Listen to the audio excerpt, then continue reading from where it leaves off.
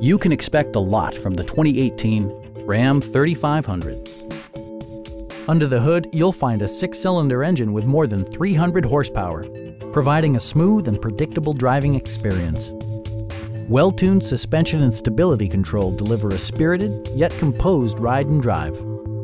A wealth of standard features means that you no longer have to sacrifice, like heated seats, front and rear reading lights, a tachometer, a built-in garage door transmitter, a trip computer, front dual-zone air conditioning, a trailer hitch, and power windows.